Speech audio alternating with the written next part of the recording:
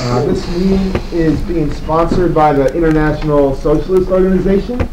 Um, so just to give uh, a brief intro, Chris is a professor at Pace University in the Department of Chemistry and Physical Science. Uh, he returned from Fukushima recently, uh, reporting for Counterpunch on the ongoing nuclear crisis there.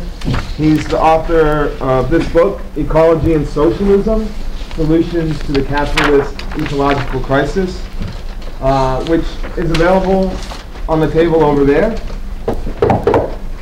And uh, he's also been active with Occupy Wall Street in the Environmental Solidarity Working Group. So, uh, my name's Pete. I'll be chairing this meeting. Uh, Chris is going to talk for 45, and then we're going to have a discussion. Um, and afterwards, we'll have uh, room for uh, brief announcements. Uh, and on the way out, uh, please check out our solution, uh, our selection of literature. Uh, they're books for activists. So, cool. Uh, On the Q and A, are there people who would object to being videoed? Are there people who would object to being videoed? Great. Cool. All right. So, without further ado, uh, Chris Williams. All right. Uh, thanks very much, Peter. Um, so thanks very much to everybody for coming. So um, I'm not going to go through how desperate the environmental situation is. Probably people here, if you're in this room, you already have a pretty good idea of how terrible things are. And um, rather than starting off with the as, as many environmental books do and, and talks start off with all of the reasons why the earth is failing and, and um, how close we are to various different tipping points.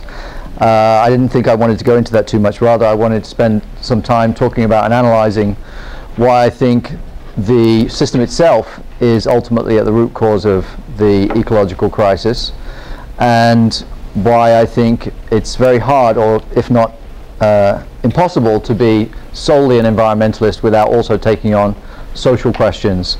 And uh, I think that's one of the things that the Occupy Wall Street movement has really brought to the fore, forefront, that it, this is really a question not just uh, of an ecological crisis, but also social and economic crisis, and the two things are essentially mirror images of each other. So, uh, however, Gina, if you could just um, I couldn't resist uh, being somewhat depressing. Um, so the uh, this the doomsday clock is something that was started by scientists after the, the dropping of the atomic bombs, who were in 1945 on Japan, who were horrified about what that then led to, and then the development after the atomic bombs of the hydrogen bomb, thermonuclear weapons, and increasing the scale of the potential devastation even further. So they created and they produce a bulletin every year which has the doomsday clock as part of it and it moves either closer to midnight, i.e. the extinction of the human race, or further away depending on what is going on in the world. And it's just been moved, as you can see here, to five minutes to midnight on the basis of two things. One is climate change and the fact that the politicians, uh, the world seems to be doing so little about it. And secondly, uh, on the issue of nuclear weapons and how that has come to the fore again. And of course, uh, since that, uh, since this time, we also learn that, according to the Times, it was on the front page of the Times today, um, they actually had to consider the possibility of evacuating Tokyo as a result of the meltdowns at the Fukushima Daiichi nuclear power plants. Um, and Tokyo is 35 million people. They were talking about evacuating 100 million people in total. Obviously, totally, utterly impossible. Um, and yet they were within a hair's breadth of evacuating all of the nuclear workers. Actually, TEPCO, the corporation, was arguing that they all should be evacuated, which would have led, led to meltdowns not just at those nuclear plants, but the surrounding nuclear plants too, which would have cascaded into uh, tens of millions of people fleeing and the irradiation of large sections of Japan. And according to Yukio Edano, um, who's the chief cabinet secretary at the time, uh, said we would lose Fukushima Daiichi, then we would lose Tokai, that's another nuclear reactor. Uh, if that happened, it was only logical to conclude that we would also lose Tokyo itself. Uh, the, uh, one of the other um, people compiling the report, we barely avoided the worst case scenario, though the public didn't know it at the time. So this is due to uh, was now been revealed a secret report uh, commissioned by the Japanese government at the time when they didn't really know what was going to happen with uh, the reactors and how bad it would get. So in contrast to the idea that nuclear power is somehow safe or been made safer or we now know how to cope with it, uh, let alone its connection to nuclear weapons, let alone the question of what the hell are we going to do with the nuclear waste, this is, cannot possibly be any kind of answer to the climate crisis uh, and moving away from uh, fossil fuels. And you know, this is just outside of uh, Fukushima Daiichi. It's in Fukushima Prefecture, and this is what's left of one of the towns that I visited after in December, after um, the tsunami. But one of, the, if you go on to the next page, uh, this is a fisherman that I met, a 54-year-old fisherman, and he's described. This is what's left of his house.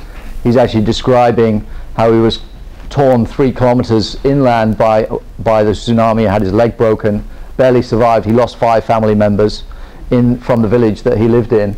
But actually, uh, what's preventing him from continuing to be a fisherman is the fact that the sea around the area is now irradiated. And so even if he could fish, uh, nobody would buy the fish because nobody will buy food from any of that area now, the whole province. And so it's not just a question of what happened then, but the ramifications are going to go on for decades and decades. Um, or, you know, consider living, this is the foyer of an apartment building.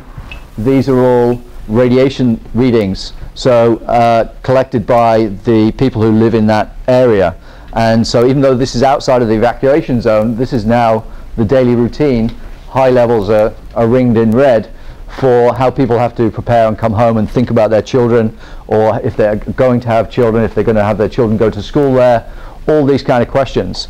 Um, and yet this is the kind of power that President Obama, nuclear power, President Obama has just authorized the building of two new nuclear reactors in Georgia, the first to be constructed in the United States since uh, 1978.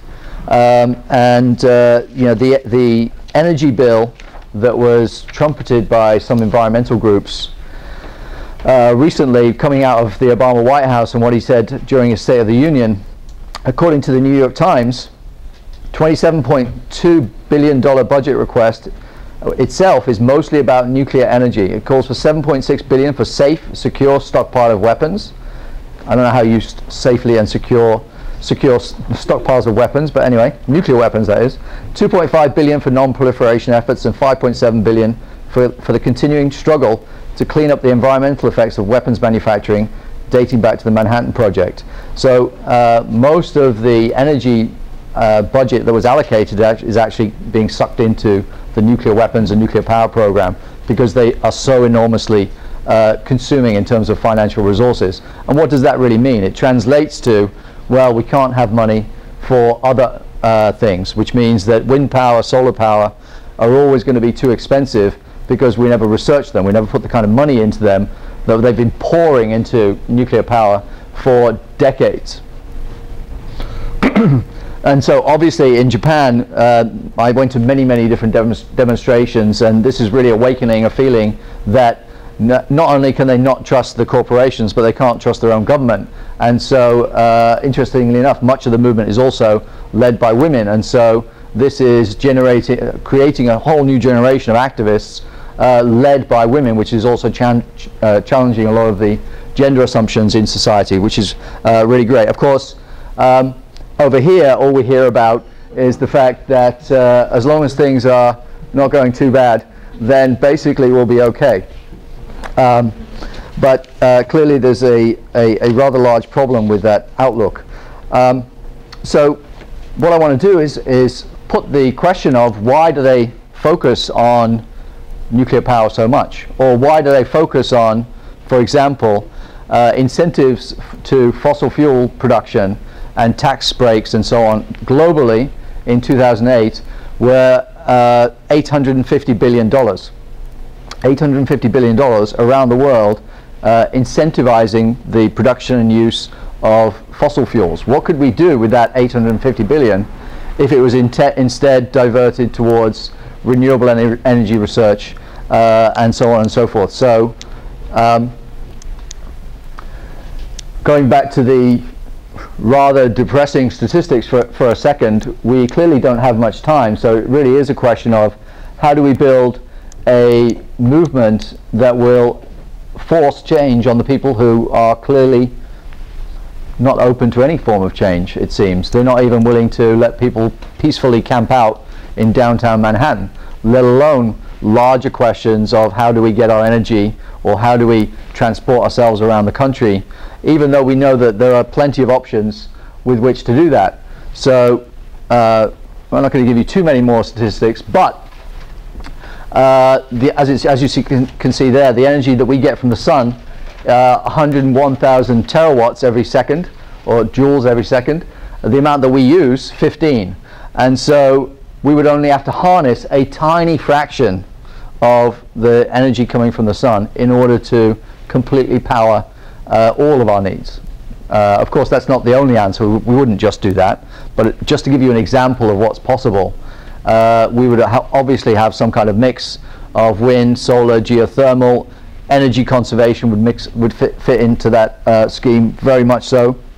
We waste most of the energy that we use. Fossil fuel plants, for example, waste about two-thirds of the energy that they. So every every ton of coal that you burn, about two-thirds does absolutely nothing useful except heat up the atmosphere and poison it.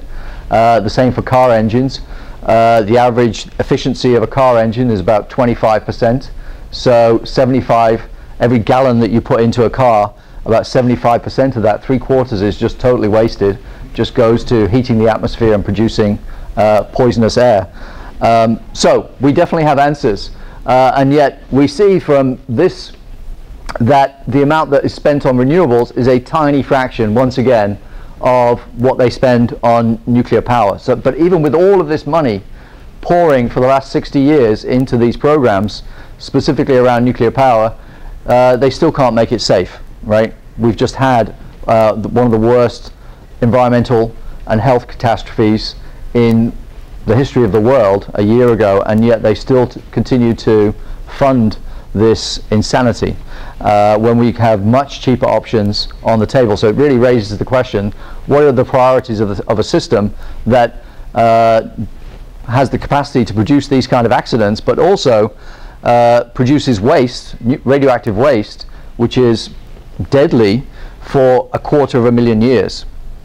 So the, the US government is officially on record as saying that they are going to keep us protected from radioactive waste for a million years. One million years. um, Homo sapiens as a species have only been around about 200,000 years. Uh, we've only had civilization for about 10,000 years, living in towns. So um, obviously a totally ludicrous proposal, and yet they put it out there as if it makes sense. Um, so there's clearly some larger thing going on that is not just about individual greedy corporations or CEOs, uh, because we keep hearing about all of these accidents, uh, the BP oil spill, uh, the uh, coal mine disaster in, in, um, in West Virginia that killed 28 miners the same year as BP, uh, many, many other uh, economic and environmental disasters that keep happening. So how is this tied to the operation of the system? I think it's really important that we locate the cause of the problem because if we, if we mislocate the cause, then we look for all kinds of solutions which are put forward as the possible answer, and then maybe we believe some of those things, and they lead us down a garden path towards thinking that we're doing something when we're really not. So I think it's really important that we locate the original source of the ecological crisis in order to then say, well, if that's the problem, what do we need to really address it? So I want to, I want to look at both of those uh, questions. And as you can see from this, I really think that uh, it is capitalism the problem. So why do I think that? Well, let me just uh, maybe start with a quote from uh, Marx from the Communist Manifesto. And I think that this was something that people can recognize as a realistic portrait of the world that we have inherited, even though this was written 150 years ago. So the bourgeoisie, i.e. the, the 1%, wherever it has got the upper hand, has put an end to all feudal, patriarchal, idyllic relations. It has pitilessly, pitilessly torn asunder the motley feudal ties that bound man to his natural superiors, and has left remaining no other nexus between man and man than naked self-interest, than callous cash payment. It has drowned the most heavenly ecstasies of religious fervour, of chivalrous enthusiasm, of Philistine sentimentalism in the icy water of religious, of egotistical calculation. It, has resolved personal worth into exchange value, and in place of the number, numberless indefeasible chartered freedoms, has set up that single, unconscionable freedom, free trade. In one word, for exploitation, veiled by religious and political illusions, it has substituted naked, shameless, direct, brutal exploitation. Uh, Marx had a way with words. Um, the, uh, the bourgeoisie has, through its exploitation of the world market, given a cosmopolitan character to production and consumption in every country. All old established national industries have been destroyed, or are daily being destroyed. They are dislodged by new industries, whose introduction bec becomes a life and death question for all civilized nations, by industries that no longer work up indigenous raw material, but raw material drawn from the remotest zones. Industries whose products are consumed not only at home, but in every quarter of the globe. In place of the old ones, satisfied by the, by the productions of the country, we find new ones, requiring for their satisfaction the products of distant lands and climes. In place of the old local and national seclusion and self-sufficiency, we have intercourse in every dire direction, universal inter interdependence of nations. In other words, what he's really describing there is neoliberalism and globalization. Uh, that what he was predicting would happen is the world that we now live in, whereby free trade is the mantra uh, and we have to uh, expand everywhere over the planet. Capitalism constantly has to increase and expand. And so what does that mean? What it means is if we live under a system that is constantly expanding, uh, you live on a finite planet, then that forms a logical contradiction. Right? You cannot have a system predicated on endless expansion if you've only got one planet to live on. Uh, capitalism exists, uh, takes in more and more uh, natural resources and spits out the other side uh, waste products. That's the only way in which capitalism views uh, the environment. And uh, so that, the fact that we have an expanding system, economic system, is in lo logical contradiction to ecological sanity and a stable biosphere. and you can see that from what, what, how do we measure whether we're doing well as a country or any country? How do they measure it in GDP uh, and expansion? If, if the economy is not expanding at 2 or 3% every single year, then what do we have? Well, we have what we have now, right?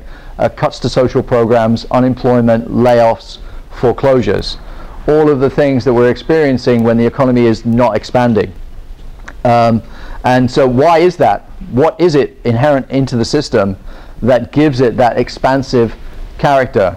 Well, Marx analyzed that uh, and he said, actually, it's pretty simple. You can explain that in three letters. Uh, what is the purpose of capitalism? M, C, M prime. You start with money as a capitalist, capital, and you turn it into a commodity, C. That commodity you sell, but you have you sell it for more money than it cost you to make it, M prime. So you at the end of that process, you've now got more money than you started with. What are you going to do with it?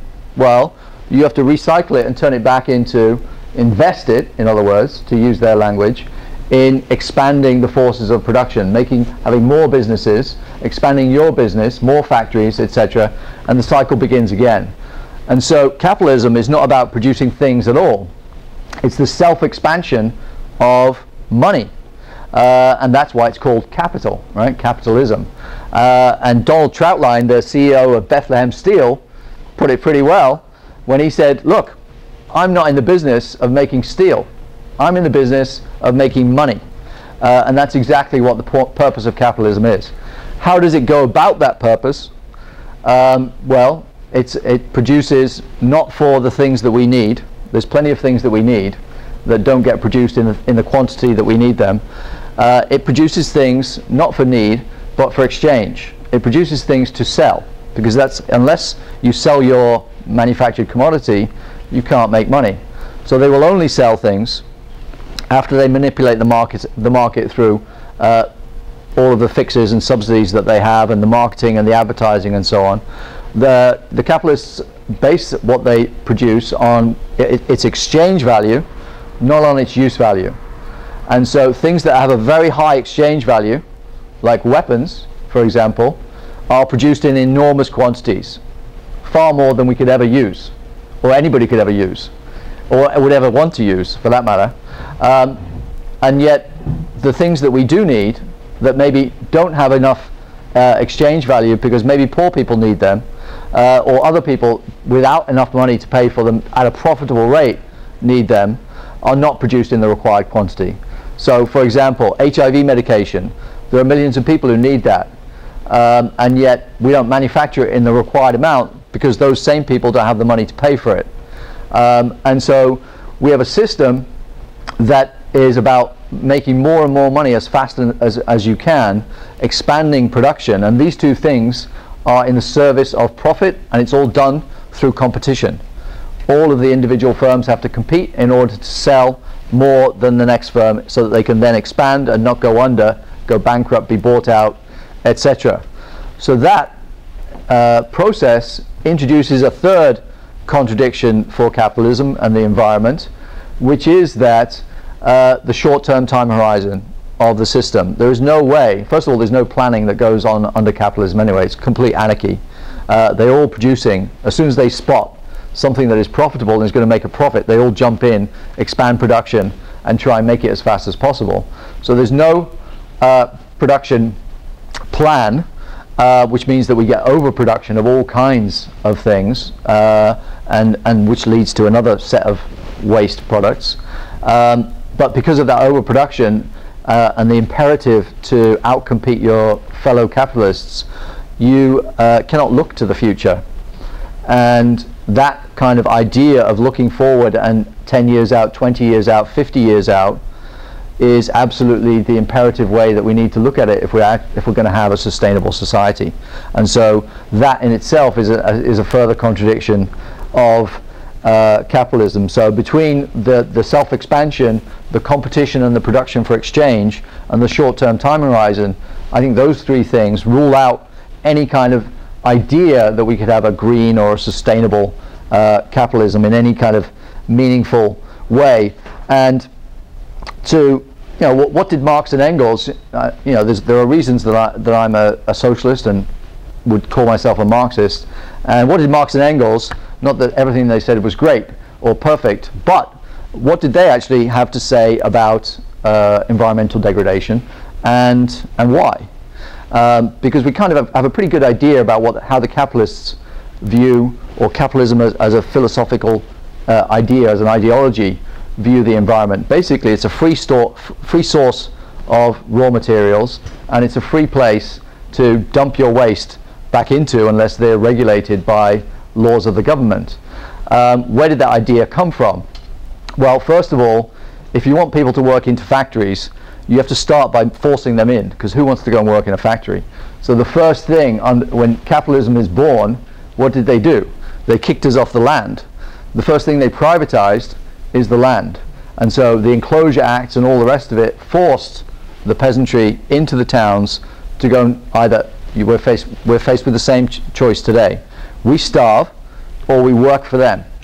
Uh, and so that uh, created the system, you know, Blake's vision, hellish vision of the dark satanic mills of uh, emerging 18th uh, century, 19th century England is the picture that we have of the privatization of the land. So it, we are actually separated off from our ability to have any connection with the land because it's all owned.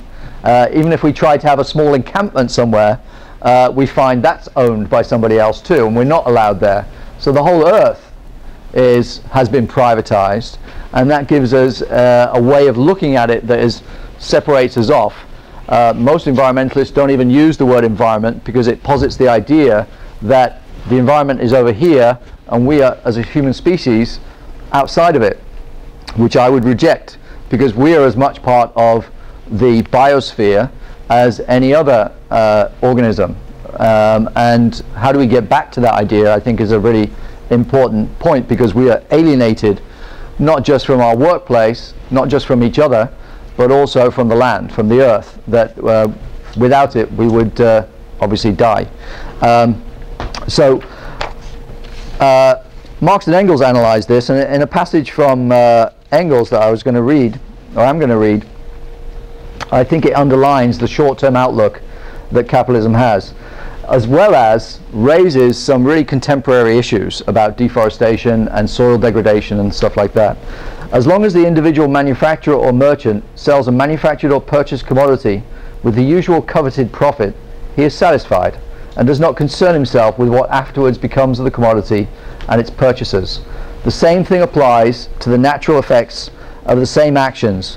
What cared the Spanish planters in Cuba who burned down the forests on the slopes of the mountains and obta obtained from the ashes sufficient fertilizer for one generation of very highly profitable coffee trees? What cared they that the heavy tropical rainfall afterwards washed away the unprotected upper stratum of the soil, leaving behind only bare rock? In relation to nature, as to society, the present mode of production is predominantly concerned only about the immediate, the most tangible result. Um, and so, uh, how do we shift that and talk about some alternative way of viewing our place in the environment?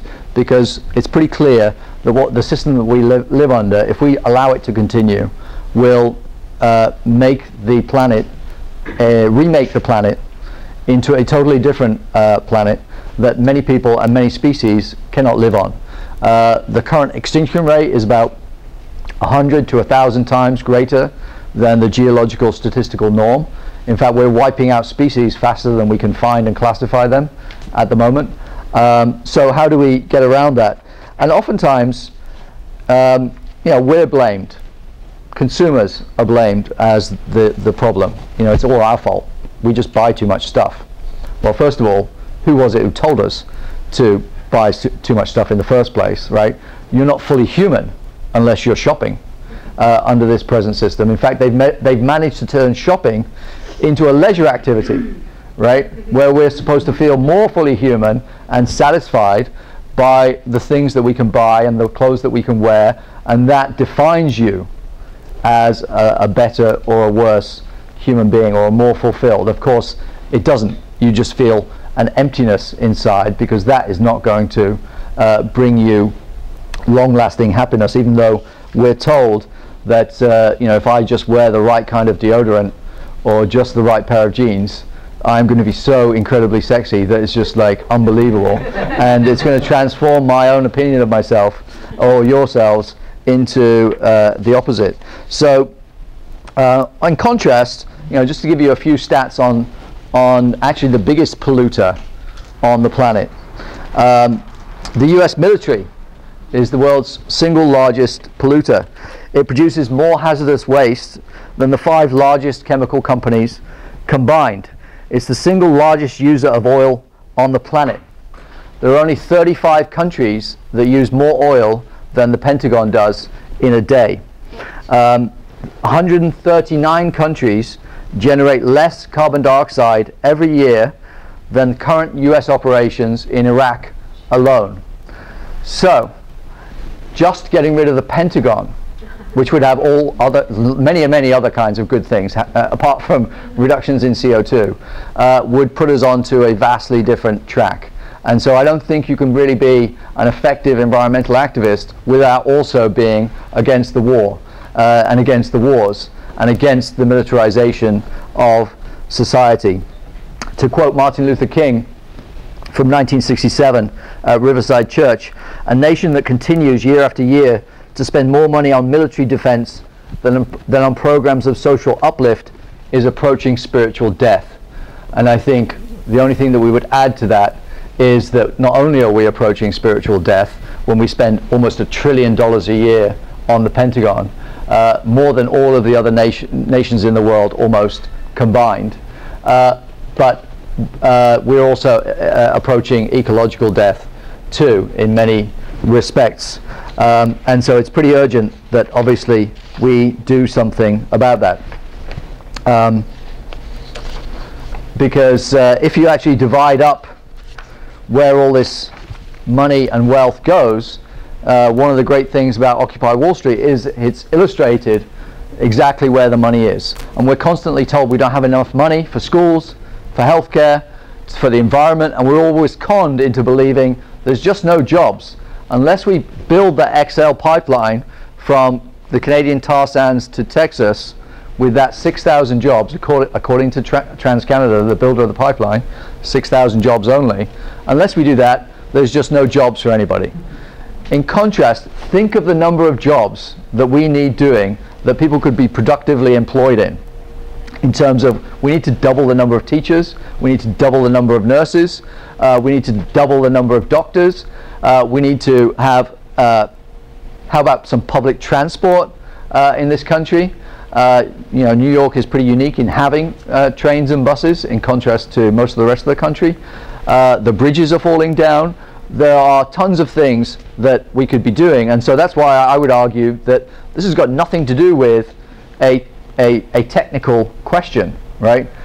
It's purely a political and social issue, uh, the fact that we are not having these things. And uh, some of the corporations that make the most money uh, are, pay, um, are partly making that money because they pay absolutely nothing in taxes. This is obscene um, these statistics. And yet um, we're told that this is just uh, normal, uh, everyday business. Nearly two-thirds of US corporations paid 0% in US income taxes, over 100 billion uh, in revenue lost to the government.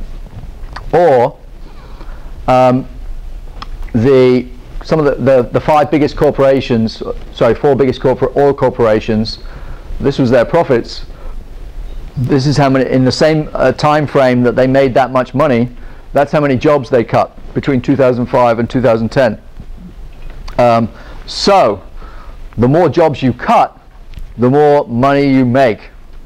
Um, and that is uh, obviously an obscene contradiction for us to be living with when people are losing their homes uh, losing their livelihoods and uh, we have to ask ourselves uh, in what same world uh, does this kind of statistic exist when at the same time we need people to be doing jobs that would actually transition us into a society that is actually sustainable. Um, or another way of seeing the same thing. Um, so, or last year, there's been a whole number of uh, food scandals over the last few years E. coli, um, bad tomatoes, spinach, any number of things, which is also linked to the way in which they now produce food. In fact, they've so poisoned the food supply that if you want to think about trying to be healthy or whatever, they've invented something for that too, right? As soon as they create a problem, they don't look at that problem, the capitalists, they just figure out another way of selling us stuff. And so now you can go and buy organic food because people are worried about the other food that they sell. They've made the other food so toxic. They never address the root cause of the problem because there's simply another way of making money. That's why they're so happy with inventing ethical consumerism or green consumerism, right? Because it's just another way to keep the uh, market expanding and keep us consuming. Um, the uh, the um, this was actually a quote from the New York Times in 2009. Uh, they quoted Dr. Kenneth Petersen. He's assistant administrator with the USDA's Food, Safety, Food Safety and Inspection Service. Um, and they were asking him, why don't you mandate testing for food? Because um, it's, it's, voluntary by the corporations. They could test the food, they, they could not, they don't have to. Um, so why don't you mandate it? Because there's been all these food scandals, people have died, people have got sick. Uh, what's the deal? So he answered, I have to look after, I lo have to look at the entire industry, not just what is best for public health. That's the assistant administrator with the USDA, uh, Department of Agriculture, Food Safety and Inspection Service. In other words, um, he's looking after the corporations before he looks at uh, the uh, the people who eat the food, us. Um, and so, again, um, agriculture, the food supply, is possibly one of the most perverted and disgusting aspects of capitalism. The UN calculated what would it take? There's about a billion people undernourished in the world uh, at the moment, out of, out of 7 billion. What would it take to eradicate that situation so everybody at least got enough food to eat? According to the UN calculation, that would be $44 billion. A drop in the ocean to eradicate world hunger uh, and provide enough food for everybody to live.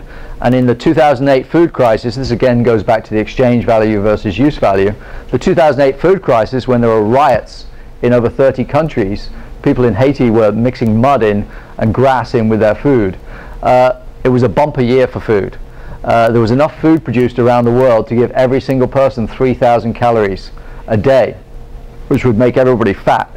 Uh, why wasn't it given to the people? Because the people who were starving didn't have the money. And you can't just give stuff away under capitalism because your profits are going to supply and demand, your profits are going to go down.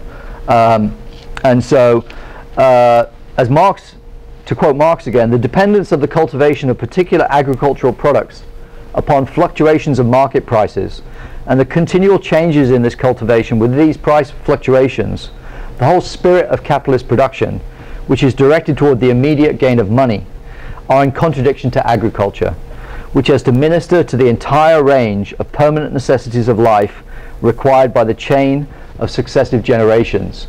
And I think that that's a, a great quote and a great way of seeing sustainability and our place in the, in the world. Um, we have to minister to the entire range of permanent necessities of life required by the chain of successive generations. In other words, we need to look several generations into the future to really see what our impact is going to be.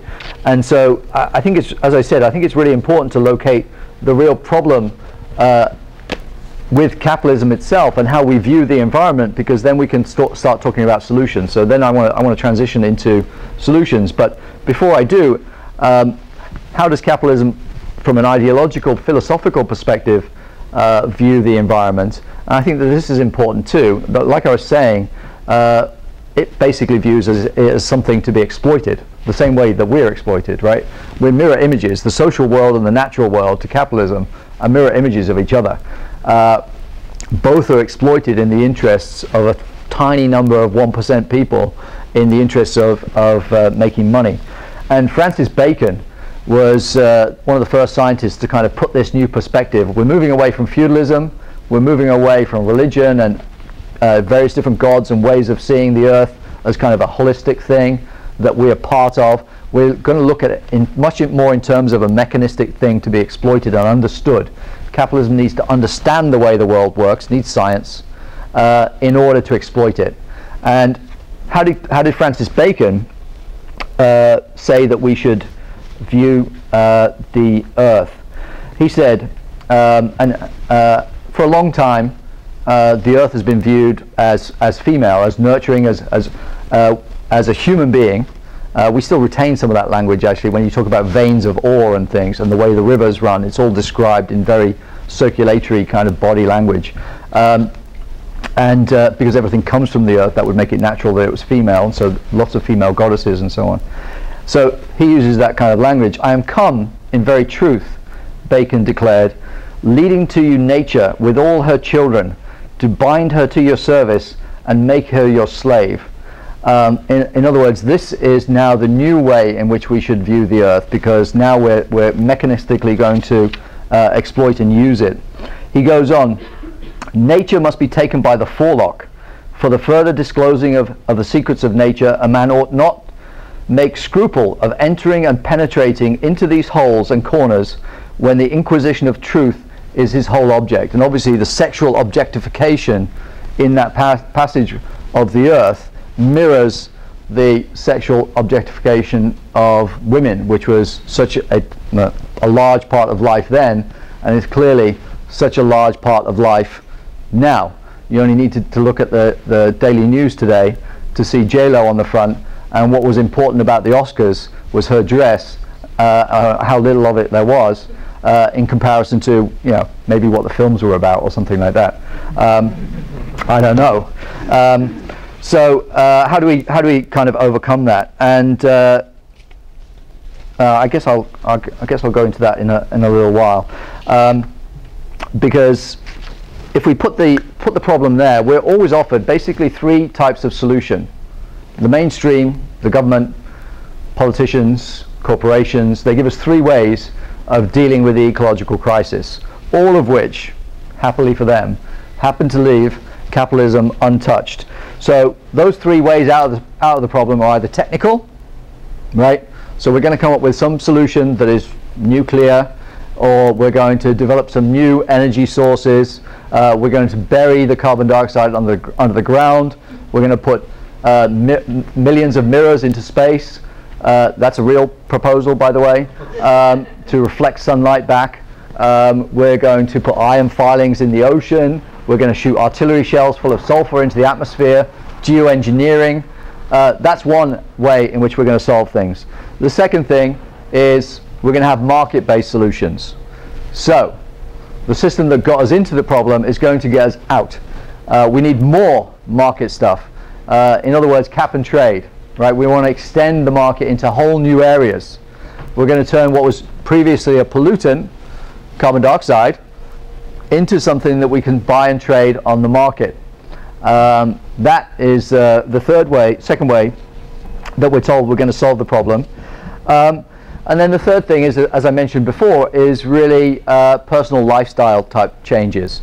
So as long as, because we, if we're the problem as consumers, then it must be our lifestyle that we need to change. So we could change our, our light bulbs, we could do some recycling, we could go vegan, uh, we could bike to work, and I'm not necessarily against any of those things, but you have to pay attention, I think, to what it's doing ideologically, because it's shifting the blame from the system to us.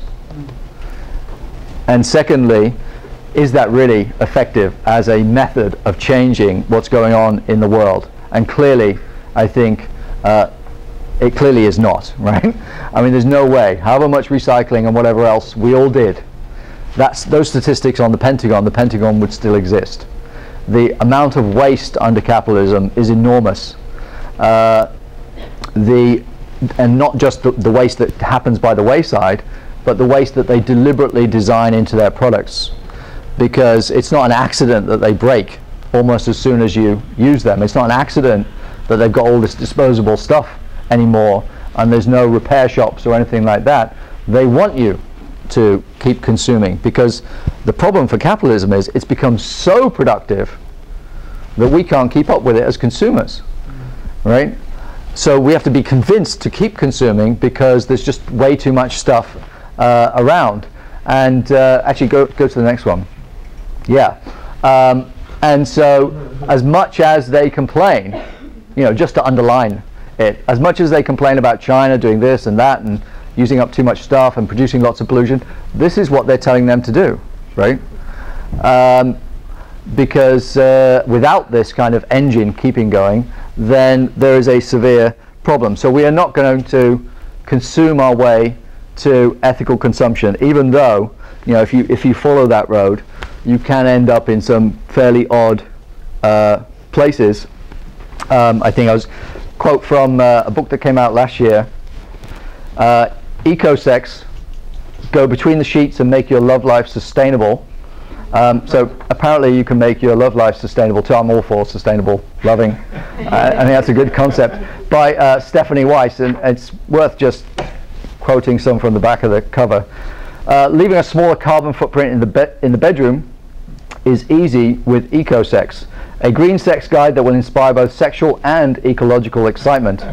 Renew your passion for the environment while you recharge your love life with green sex toys, low impact lingerie, fair, fair trade biodegradable condoms, bamboo bed linens, hand cranked vibrators, conflict free conflict free diamonds, and much more. Eco-sex will help you avoid the sins of greenwashing while you probe the deep, deeper underpinnings of healthy, chemical-free sex. Um, yeah, um, I may not be as expert as I should be, perhaps, with the use of vibrators, but hand-cranked vibrators do strike me as a contradiction in terms. Um, so, uh, I think we need some better answers for for the problem. Um, Solar vibrators. yeah, well, I think that would be a better idea. Um, I have to say, um, based on what I know about vibrators. Um, so, what are we going to do about uh, the situation if we're not going to uh, go off and um, down a road that might be lead to some good loving, but is not going to actually change things the way that we want? And obviously, all of us, I think, have been tremendously inspired by the events in the Middle East. It completely changed what people thought was possible. That uh, democracy and a fight for mass movement of millions of people in the Middle East and North Africa would transform global politics in such a stupendous way that it had people in Wis- the Midwest, Wisconsin, uh, trying to learn Arabic for their signs so that they could stand in solidarity with the people of Egypt. And uh, obviously then gave rise to uh, the idea that maybe back in this country we didn't really have any real representation.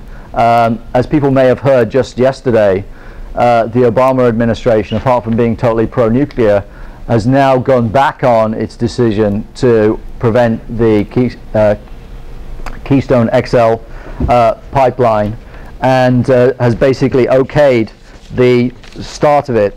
Uh, where is it? Um, and uh, according to uh, White House spokesman Jay Carney, we support the company, that's TransCanada's, interest in proceeding with this project, which will help the, the bottleneck of oil in Cushing that has resulted in large part from increased domestic oil production. So uh, we're producing so much oil now they can't get it through, so we need more pipelines. We look forward to working with TransCanada to, can, TransCanada to ensure that it's built in a safe, responsible and timely manner and we commit to taking every step possible to extradite, expedite the necessary federal permits. So the idea that Obama or the Democrats are on our side clearly is no longer tenable and hasn't been tenable for a long time in my opinion. Um, and uh, you know, I think we need to learn the lesson that we need to be organized independently of uh, the Democrats and do our own stuff partly which was organized through Occupy Wall Street and other things, we need to get to uh, a position where we're saying we need to fight for some short-term reforms that are actually usable and good, such as stopping this pipeline. 10,000 people demonstrated outside the White House last year and created the initial uh, hesitancy from the Obama administration by putting pressure on, on them. Um, and we need to use it to say, well, what can we do now? How can we make sure that we shut down the pipeline completely? How can we make sure that uh, we shut down the coal mines, we shut down Indian Point, which is 25 miles away from here and 36 years old. Uh, the nuclear power station sits on two fault lines. Uh, they want to relicense it for another 20 years. Um, how can we do that? It's not stopping everything, but first of all, we need to buy some time, right? Because we're approaching some tipping points beyond which we'll lose our ability to control things. Uh, we also need to buy some time because we're not organized enough, quite frankly. We don't have the level of organization that existed in the late 1960s, for example, um, and we need to get there. So it's not just a question of being independent, having a set of politics that do not compromise with the uh, politicians and with the corporations, but it's also about building organization on the ground and saying that in many ways, the spirit of Occupy Wall Street, which galvanized hundreds of thousands of people all across the country and is overwhelmingly supported by massive, uh, you know, the, uh, the majority of people in, in the United States. How do we take that sentiment and start to organize it? Because I think what Occupy Wall Street has done has exposed the anger and bitterness of ordinary people to all of this exploitation of their lives, of their communities, of their children, of the environment uh, and said we need to do something about it. So ideologically, that's a huge victory. It's totally changed the narrative in the country. But in terms of practically what have we won, well, we haven't really changed very much so far. So we've won a huge ideological victory. We've changed the, the debate from talking about the debt ceiling and all that other nonsense and paying off the banks, right, who robbed us in the first place, uh, and started talking about we need jobs, we need to stop foreclosures, we need to take action. And so that's huge. Uh, and it's changed mass consciousness. Now we need to be an independent, organized force that can take on the corporations and the politicians who they buy uh, in order to win some other uh, victories. Because how much money are they actually sitting on? The 1%. Let me give you some, this is my last round of stats, I think. Um, total wealth of the 1%, 65 trillion dollars. What could they buy with that 65 trillion dollars? Um, uh, sorry, sorry. Total U.S. wealth is 65 trillion. The 1% have 21.9 trillion. Sorry. Um, what could they pay for? All student loans for every single student in the U.S. All credit card debt for every single person in the U.S. Mortgage cover mortgage payments for every homeowner for two years rent for every tenant in the US for six years, all homes foreclosed in 2007, 2008, annual salaries of 19 million families for one year, give a $10,000 bonus to every worker in the United States, triple the number of teachers and give each one a $30,000 raise, an extra six weeks of vacation for every worker for the next 10 years. Not one of those things, all of those things is what they could pay for. And then the 1% would still be obscenely rich and they would be left with, for their you know, little spending sprees and so on, $4 trillion out of the 21. What would the 4 trillion pay for, you may ask? I'll tell you. all of the following from American history, which are all figures adjusted for inflation. The Marshall Plan, the Louisiana Purchase, the race to the moon, the S&L crisis, the Korean War, the New Deal, the invasion of Iraq, the Vietnam War, NASA. Uh, could pay for all of those things. Um, so when they tell you that there's no money around for jobs or anything like that, or saving the environment, or any of these other things, it's absolute nonsense. What's that say? 50. Oh, sorry. Thank you very much. Um, so, but I think uh, other than that, if we're not going to keep on fighting these uh, battles over and over again, um, I think that we need to really go beyond talking about reforms to the system and say, well, I want to link up the anti-war movement with the climate justice movement, with the anti-racist movement, with the anti-foreclosures movement, uh, and I want to connect all those things, all those battles over jobs and houses and forms of oppression, and say, really, uh, they are all linked to the same underlying economic and political system we know as capitalism. It is exploiting us and is exploiting the earth and we need a whole different way of viewing our relationship to each other because we don't even have any idea, none of us, what it means to be fully human. We're totally alienated from each other. We have no sense of what our own sexuality or gender is really about and that's because we've been totally torn apart from each other and as I mentioned at the beginning there is no other nexus between humans than the cash nexus and the idea that we should exploit and oppress each other under this system which extends to the natural world just as much as it does to um, the social world and uh, in contrast how did Marx uh, see our place in nature the life of the species, both in man and animals, consists physically in the fact that man, like the animal, lives on organic, inorganic nature, just as plants, animals, stones, air, light, etc., constitute theoretically a part of human consciousness, partly as objects of natural science, partly as objects of art. His spiritual inorganic nature, spiritual nourishment, which he must first prepare to make palatable and digestible, so also in the realm of practice they constitute a part of human life and human activity. Physically, man lives on, only on these products of nature, whether they appear in the form of food, heating, clothes, a dwelling, etc. The universality of man appears in practice precisely in the universality which makes all nature his inorganic body, both inasmuch as much as nature is his direct means of life and the material, the object, and the instrument of his life activity. That means Man, uh, that means that man's physical and spiritual life is linked to nature means simply that nature is linked to itself. For man is a part of nature, uh, and I so I think that is how we look at nature, not as something to be used, and what can we get from it, and what can we do with it, and how much money can we make from it, but how can we investigate it and look at it for its own spiritual uh, beauty and the psychic uh, beauty and, and psychological things that it gives us just because it exists and we exist and we have some consciousness to appreciate it as a piece of art, as beauty, as things to be investigated purely for the sake of uh, our own enjoyment, not because we get anything tangible from it.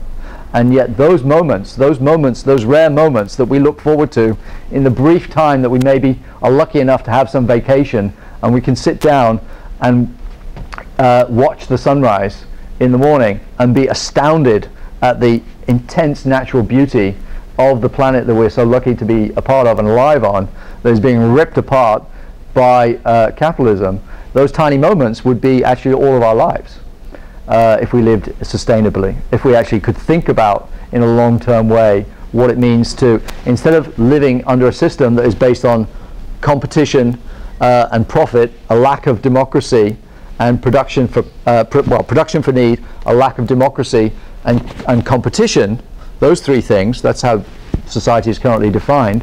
What about if we lived alternatively under a society that was based on cooperation, real democracy, and producing things that we need instead of things that uh, we are forced to buy because they're profitable. That's the kind of world that I want to live in, and that's the kind of world that I want to fight for. Uh, and if you're interested in that, then um, we should talk. Um, but uh, for now, we should definitely talk about all of the things that came up, questions uh, and disagreements, debates, things that you want to talk about that uh, we can try and figure out together. Well, how do we really move forward from where we are to try and build a mass movement that can take on the people who they're very tiny, right? We're lots of people. They're tiny. They're organized. That's the problem. Uh, the question is, how do we get organized? Thanks.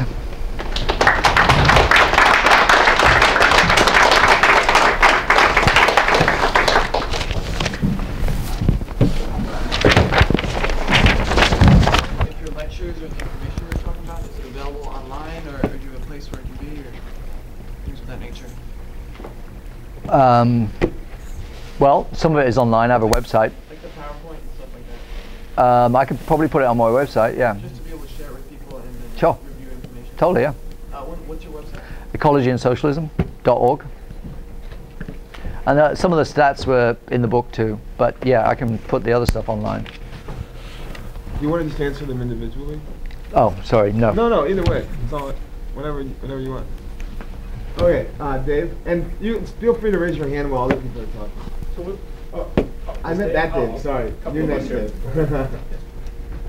Dave. Oh, you didn't have your hand up. Oh, this Dave. Okay.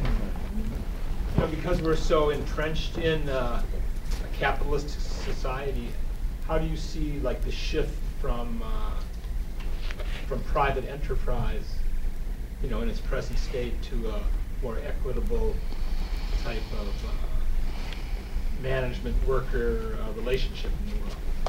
So something along that. Mhm. Laura.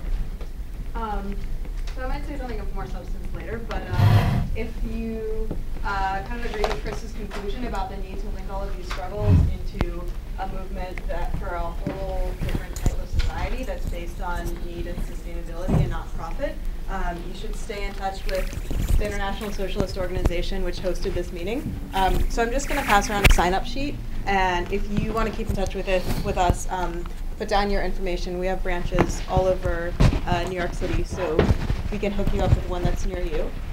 Um, and I was also wondering if uh, Pete or someone else could pass around their hat.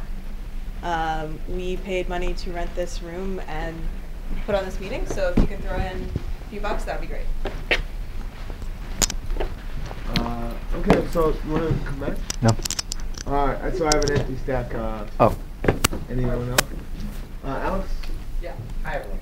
Um, so I was at the anti-fracking rally on Saturday, Right. and I got into an extended conversation with someone who felt that there was just too many people in the world, and that we that you know regardless of whether we could feed them or not, it, it was approaching a point where the the whole Earth couldn't couldn't sustain it. Um, I'd just like to. You didn't get to touch on that um, in your talk, so I'd like to hear a little more on that.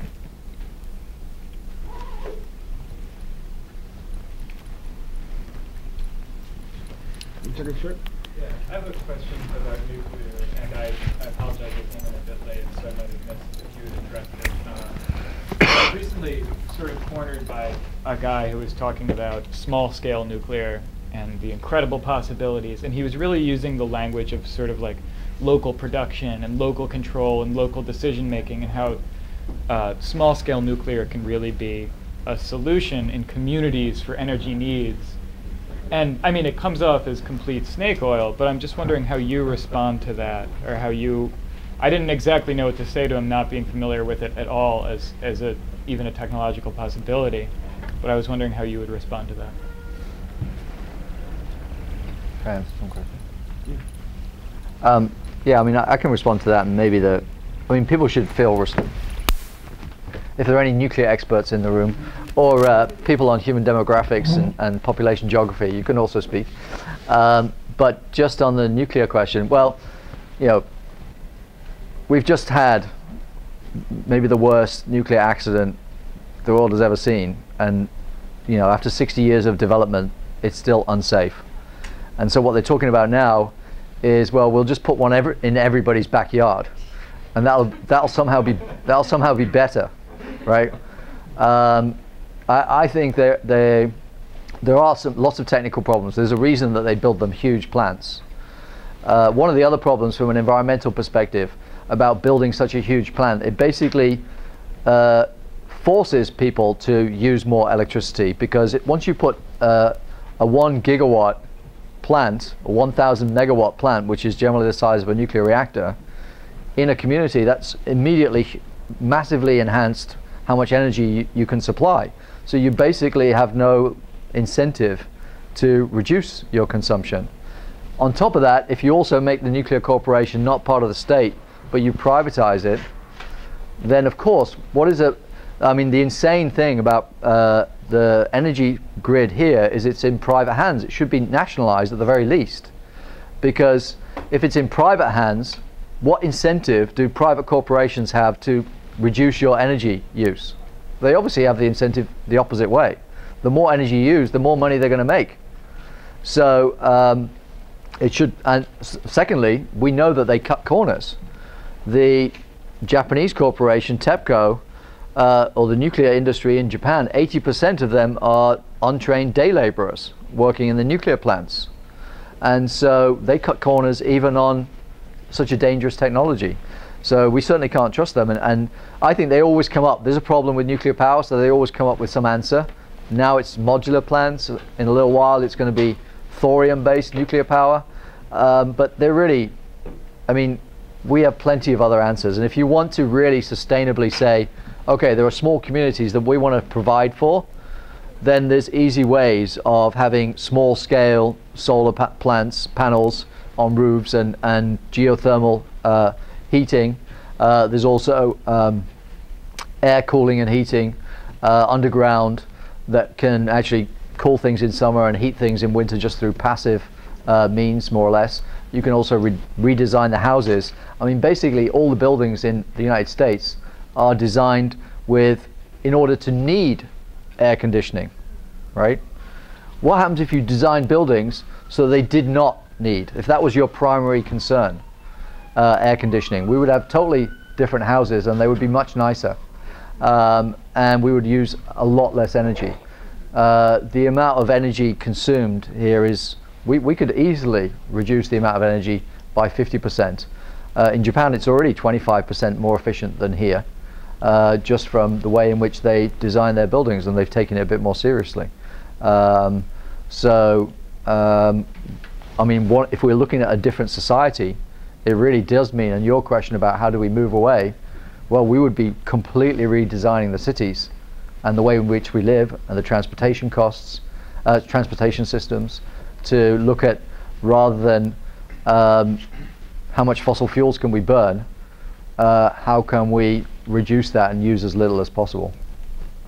I'll talk about the too many people maybe in a bit, but. Um, so I just want to remind people, you know, feel free to raise your hand while someone else is talking, and I'll uh, make a note. Um, Evan?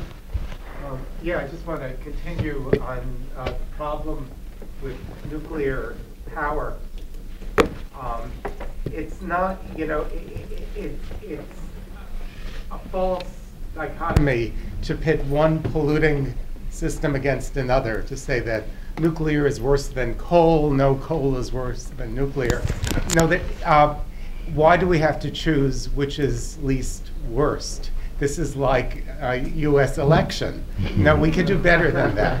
Um, I think that we have to demand um, from uh, the people who are in power uh, to stop putting money into carbon uh, energy like invading countries and occupying countries for the benefit of oil corporations or natural gas corporations, or to uh, put billions of dollars or tens of billions of dollars into the nuclear industry, and, and, and really demand that that money go to develop infrastructure for safe, renewable, clean energy, uh, which the technologies exist now. Um, the, the other thing that people generally don't think about with regard to nuclear, which is the most dangerous uh, uh, substances we have on Earth, are nuclear uh, pollutants, um, is the mining of it is usually in Navajo land or indigenous lands in Africa or in Australia, and it's they're terribly polluting. This is carbon pollution that's used to mine this and truck the uranium uh, for refining. Um, so you know, so nuclear is not uh, a solution away from carbon emissions in the processing uh, from mining to you know to distributing it to getting rid of the waste. A lot of carbon pollutants uh, go into the atmosphere. Um, so you know it's time to demand uh, really something that we want rather than something that we want that we don't want less than something else. Uh, Stefanie? Yeah, um, I guess, um, you know, so talk a little bit about the overpopulation question because I, I think it's like an important one because it comes up so much. Like, um, basically, it's this like idea that comes from like the 19th century. A guy named Malthus who wrote about how uh, uh, you had uh, he, you know, the way he put it is that uh, the population is expanding geometrically while like Earth's resources are only expanding arithmetically, and so therefore, you know, there's more people are you know populating you know more quickly than the resources and we're going to run out of stuff uh, not based on any kind of empirical fact but just this sort of his musings or whatever. So it, it, it's uh, it, it's it's wrong. I'm not only you know chris already talked about the sort of the food issue. That we already have enough food to feed everybody. We don't need to change anything but it, it really applies to, to everything. Uh, you know you think about housing think about how many um, empty uh, buildings there are, all those like uh, fancy condos that never got filled at sort of like right before the you know recession hit, or empty office space, whatever, and then all these people who don't have homes. There's just you know in any category you talk about, there's a there's just the, the distribution is what's off, and uh, th- there's no reason to think that we wouldn't be able to sort of keep up with production and things like that. There's also sort of a, a you know a, a false um, uh, dichotomy between city and country, and Chris talked about you know uh, sort of people getting kicked off the land and pushed into cities. There's there's no reason we can't have community gardens in cities, and we can't have people living in places where there's no people living, and evening that thing you know those kind of things out would, would make a big difference. And I, I but where this idea comes from is really an anti-working class idea, right? This, this idea that there's too many people. It's really a way of attacking working class people and saying it's it's it's our fault. Um, there's too many of us, and we have too many needs. And I think that gets to the question that was asked at the at the beginning, I- toward the beginning of how can we, you know, how would we transition to a world that wouldn't be like this? We can't actually transition to a world that that, that would be like this actually because of the because of the profit motives that Chris talked about, but fortunately there are a whole lot of us right? There's a reason they're scared of us and they have propaganda of like you know like this whole like we're, we're populating too quickly and so we're going to ruin the earth. Um, there are a lot of working class people and uh, we, we actually need to like seize control of um, pr- production actually seize control of uh, these corporations that are destroying the earth. And you know it's a, it's a bigger question than that. It's not a simple question but uh, you know it's not something we could just uh, ease into, but we'd actually have to uh, uh, take over and, and, and have ordinary people uh, like those of us sitting in this room, those of us who just work for a living, uh, making the decisions so that we can make it in, in a longer term uh, uh, perspective, um, which is uh, necessary for us and impossible for capitalists. Uh, Joe? Um, Do you imagine uh, uh, a lot of employment happening in terms of our moving our productive machinery up, up higher when the water comes. That uh, if, if uh, ocean rises high enough, we'll lose all our coastal cities and we should be moving our productive machinery up high. Um, you said in the blue coat? Yeah. That's me. What do you think the reason why both the um, the government and consumer is slowly or not even adapting uh, renewable energy compared to um, nuclear? I can. Okay. You wanna go? Yeah. Uh, Leah? Um, Yeah, hey, what's up? My name is Leah, I'm part of the um, International Socialist Organization. Um, I wanted to just address the question too about the, the transition from that kind of capitalist mentality or capitalist sort of way of, of life to an alternative, because I think it's, I think around the environment, that transition can actually feel the most daunting because you feel like what you're kind of up against. is actually why people seek out these kind of very individual choices, whether that's a light bulb or driving your bike to work. It's not because people just want to consume more. It's actually because the the state of the ecological crisis just feels so severe, and there's not other solutions on offer really. Um, actually, wasn't really until I read Chris's book that I was like, oh right, there actually are lots of you know other kind of alternatives on offer even in the here and now, um, other than this. But I feel like it feels very daunting and. I mean, one of the central kind of tenets of, of Marxism that I find very useful is this idea that our being determines our consciousness, so that the way that we live and experience the world kind of determines the way that we think about the world and think about each other. Um, and that, if you live in a world like we live in now, which is deeply alienating, we're in competition with each other, the number of like racist and sexist ideas out there has a severe impact on our ability to kind of collectively organize, our ability to actually kind of see each other not as kind of separate, you know, individuals, but part of the same um, community, society, um, environment, etc. But I think the times will occupy Wall Street and people's experiences with that, you saw that begin to break down on a pretty tremendous scale. And so then people's experiences did determine a whole set of different ideas. So I felt like for the first time, like I went down to Zuccotti Park, and especially in those first couple of months, it was like the idea that you could just you just looked at people a little bit differently. Like you got in line and got your meal, and it was free, and you know what I mean. You kind of sat down and talked to the person next to you. Like it, it those kinds of experiences collectively, the process of collectively changing the world actually drastically changes people's ideas about what's possible, about other human beings, the rule of capital or the rule of that 1%. But actually, through that process, that tremendously change our ideas about the environment and the people um, around us. Eventually, changing our ideas is not going to be enough. It's not like if we just have Zuccotti parks everywhere, right? You know, like the, the world would be a, a fundamentally different um, place. But I, cause I do think we need to use those spaces to actually challenge challenge that rule, but I, I think that, that that process of actually changing the world, even in the here and now, will actually sow the seeds of what people, you know, raising people's expectations about kind of changing the whole whole damn thing.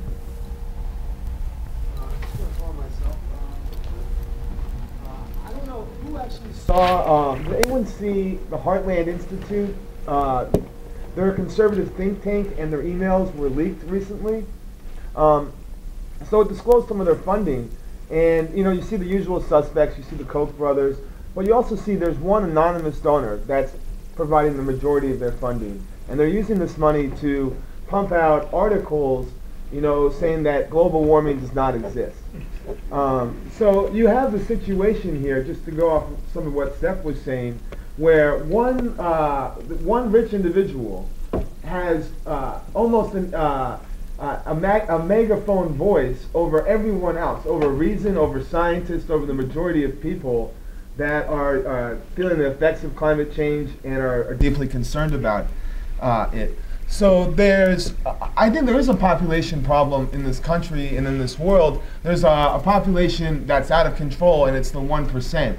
and the higher you go up the, the food chain, the, the carbon footprint increases. Um, uh, I read recently the richest uh, 500 million people in this world uh, produce half the world's pollution. So you can see uh, uh, the more bucks, uh, the more bang uh, you get, right? And so something Lenin said, or uh, to paraphrase something he said, was something. It was uh, you must dream.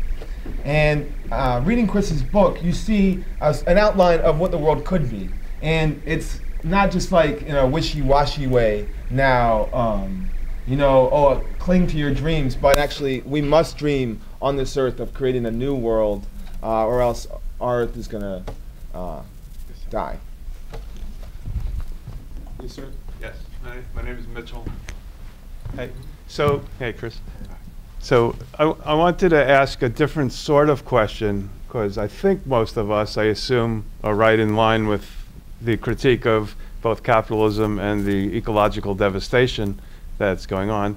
So, the question I had was the role of organized socialists, in particular groups or not, and the role of a mass movement like Occupy, which is not necessarily a socialist movement. So, so obviously one of the roles would be one of consciousness of, of raising these sort of this very uh, type of slideshow and talk that you did here. That's one of the roles. But what is the role in terms of action? Um, I know I find myself in line with what the, one of the speakers were saying, that I found my own thoughts and the way I think changing just by participating. So that's important. Even the educator supposedly needs to be educated if that's the duality. But what is the role in terms of socialists in planning actions? Do we do actions? I mean, we definitely need to start hitting targets that are economic and eco ecologically related, and New York is full of them, right? Yeah. So, do we do that on our own? Do we do that by waiting to try and convince large numbers of other people in Occupy, which might take a long time? Do we do it through more type of vanguardist approaches and hope that people will flood in behind us. I just could, I mean, these have been going on for years and years, these type of questions, but I was wondering what your thoughts are on that. Uh, so I have Stefanie followed by the gentleman in the wool sweater. I mean, sorry, not Steph, uh, Julie. Oh, uh, sorry, sort of a comment and a question. Um, so I can recently sort of see more how uh, ecological struggles are going to be sort of part and parcel of a lot of the different directions that Occupy organizing is taking. So I recently got involved with some of the organizing around um, housing to occupy foreclosed homes, to do housing defense, eviction defense. Um, and so I was starting to look up uh, in, in and around East New York and in my neighborhood, East Flatbush, just trying to look up, you know, which you know houses in my neighborhood are being foreclosed and that type of thing. And I found this website. It was really to to educate potential investors about you know the houses they may be able to turn a profit on. It's called Property Shark or one of these such things. But one of the things you can look at is pull up a map that shows all the like toxic waste sites in your neighborhood like everything from like big gas bills to like brown feet i don't i mean i didn't know half the words to be honest it made me want to within a couple blocks of my house, there was all these different dots on this map of varying sizes and shapes that I had never seen before. Like they want investors to know about this, but I think that it just called my attention to the reality that if we're if we're take, beginning to sort of take over our homes and assert that we have the right to live in them and fix them up on our terms, uh, whether we own them or don't own them or, or, whatever, but that housing is a human right. But then it's like, what about our neighborhoods? If there's like toxic waste being dumped in our neighborhood, but we, we figured out how to drywall and get rid of the mold in the in the building, it doesn't actually create a, a healthy living situation if there's still toxic waste in the neighborhoods. and honestly, like I, I, do think that like if we can begin to figure out how to defend one family from eviction, there's a much more confident basis to sort of begin to look at how do we, what are the other aspects of what we can do to create a, a healthy and, and, livable sort of situation for ourselves. But I'm also interested in, in things other people know about now or historically, um, ways in which like the ecological issues, uh, obviously they're interwoven with everything, but to be honest, because we are so alienated from things, I don't usually think of it like that. Uh, and so if people know of other struggles, I'd be interested to hear more about that. I think all of us in here, or most people generally would agree that the system doesn't work. You know, unless you are that 1% profiting immensely from it. Um, you know, without a utopian uh, view of the world, what is the alternative? How do you move away from capitalism? I mean, I totally get how it creates, um, you know, a false uh, scarcity in the world, Um, but you know, nevertheless, that does exist, especially in the beginning. Once you shift away, you know, you have seven billion people on the planet. Some of them living in a desert. We're all um, interdependent upon one of, uh, you know, on each other. You know, not just the environment. You know, how do you get somebody to bring water to the desert? You know, how do you how do you um, handle that? What's the alternative? I, um, I think it's a great question, and maybe I can combine it uh, with Mitchell's too, possibly.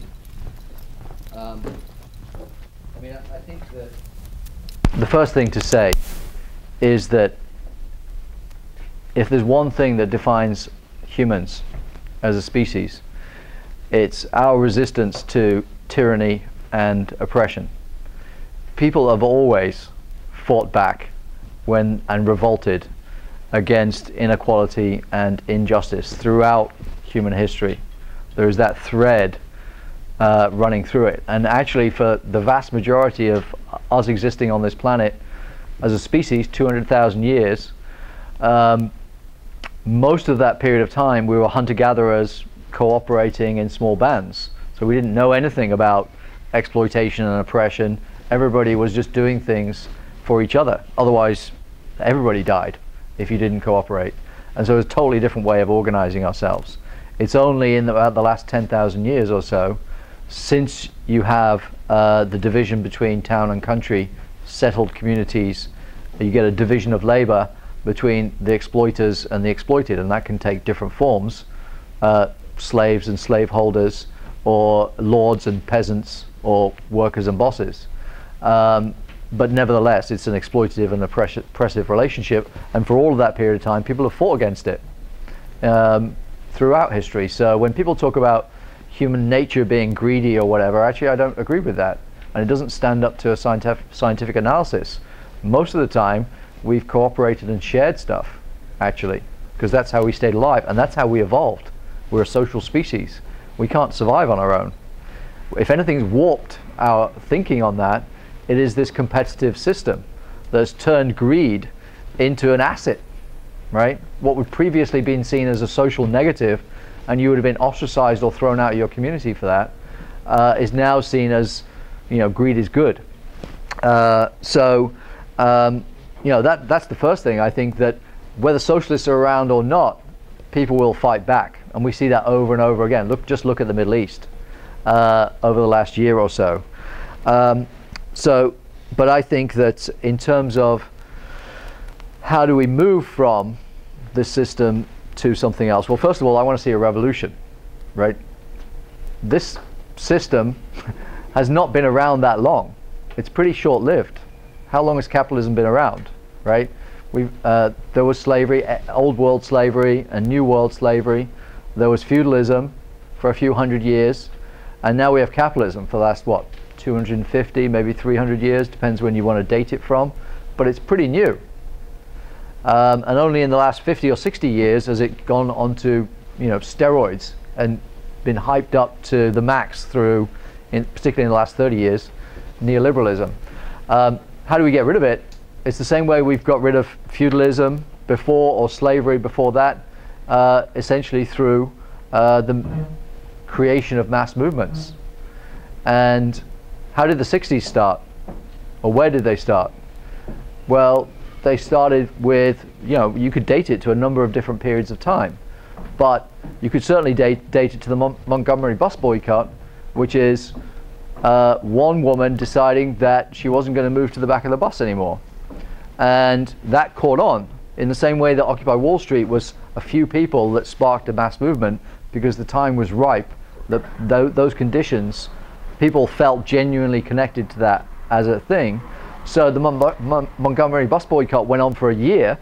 50,000 African Americans refusing to take public transport for an entire year uh, to win that, which is actually a small thing in many respects. And actually, the movement then dies. Nothing happens then for a while, really until 1960. Uh, and then it changes. Different tactics are called for because the old tactics wouldn't work. So they tried something new. Uh, they tried the sit in. And so for, for young students, African American students, go and sit in uh, in North Carolina, and that then sparks a new movement. But then there are all kinds of questions about whether it will work and whether it will work or not, whether it will work or not. There's massive amounts of repression, beatings, people are shot and killed, uh, tortured by the police. Um, the, the, the national government doesn't do anything about it. The tactics change again uh, a couple of years later to the freedom rides. And that draws in people from the north and it creates a bigger movement. And they found something else. Uh, and, then, and then there's another lull, but it also starts connecting with the Vietnam War movement and the civil rights struggle connects up and starts to generalize people's anger against the system into an anti war movement and uh, people start seeing the connections and the movement radicalizes and says we're not just talking about the 1964 Civil Rights Act or the 1965 Voting Rights Act, we're talking about full equality. We're not satisfied with these things anymore. And we're, we're going to form a liberation movement. Uh, and that leads into the Black Power movement. Uh, and then the rise in struggle up through 1968, uh, the assassination of Martin Luther King, and the urban rebellions uh, that then starts to feed into wider questions. Why are women oppressed and treated? You know, in all the, these activist movements, the only thing women were doing was doing the photocopying uh, and fetching the tea and coffee. And suddenly they realized, what the hell are we doing? Never having a say in this movement. Why are we never at the front speaking? Uh, why we, our opinions don't count for anything? So they started organizing. And then that actually generalized into the environmental movement and created the modern environmental movement. So the first Earth Day in 1970, uh, 20 million Americans were on the streets. 20 million. Saying, and it was all anti, anti-corporate.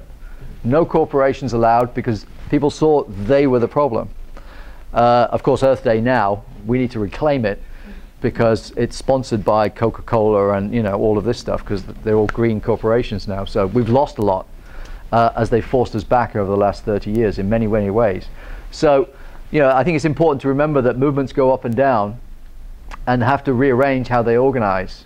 And what, what can seem like it disappearing, like Occupy Wall Street, hasn't disappeared because the conditions that produced it in the first place all still exist. And so, uh, what I want to try and be part of, I mean, I've been an activist since I was just to give a little bit of background, I've been an activist since I was 15. I joined my first political organization then. Uh, it was the African National Congress. I, I, didn't really know anything about politics, but it seemed odd to me that black people couldn't vote in their own country. And then as I found out more about it, it seemed even more odd and something that was just so unfair, I had to do something about it. Uh, so I got involved in, in the ANC.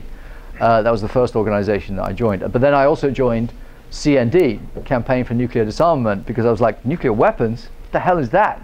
Um, and but but then, uh, you know, nuclear weapons and South Africa and all of the other things that were going on in the world in, in the 1980s with Ronald Reagan and Margaret Thatcher all seemed connected.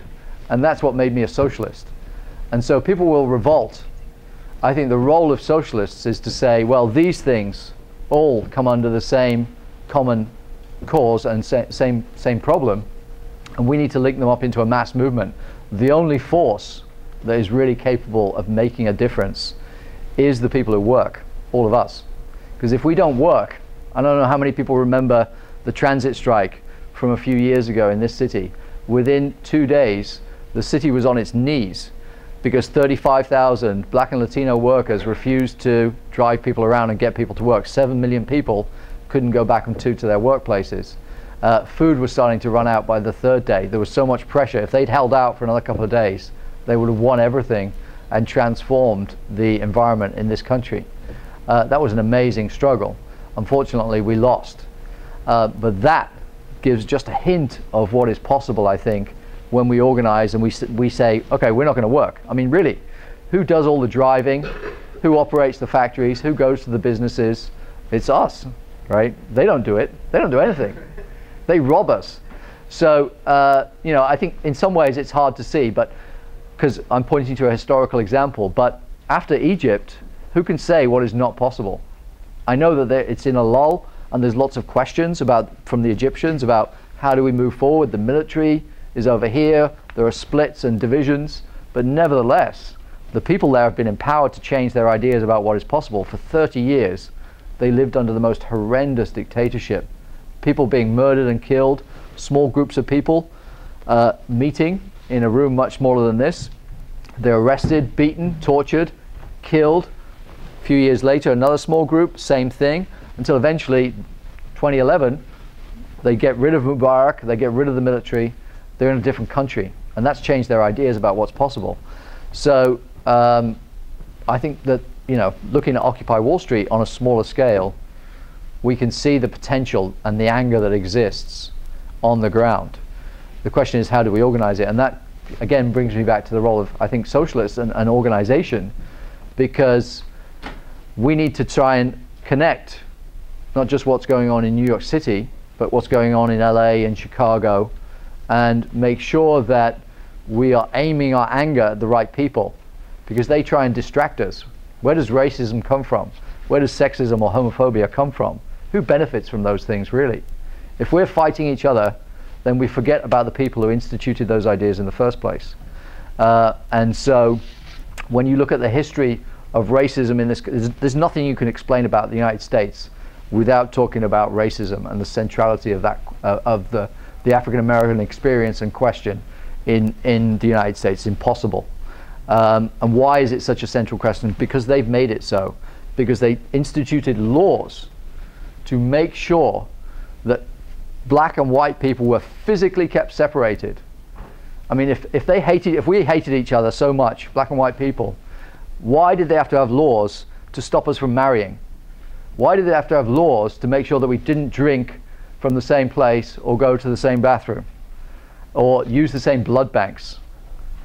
Because people did get together because they actually saw their class interests as poor people as more important than the color lines between them. So actually, some people do do uh, benefit from those things, and it's not us. And so, how do we overcome those things? Um, I think is a tremendously important question. That's another reason for linking all these struggles together. I think that's uh, a role that socialists can play in terms of generalizing from, I don't just want to talk about environmental questions, I want to talk about all of them. And so movements will exist whether socialists are around or not. I think the role of an organized socialist like myself is to say we need to be in a bigger organization, we need to draw in working people and form communities of resistance everywhere in the country to say if we don't work, nothing happens. We are the power. We just don't realize it yet. Ultimately, what I want to see is another revolution. There have already been two revolutions in this country, right? Uh, kicking out the British and then the Civil War.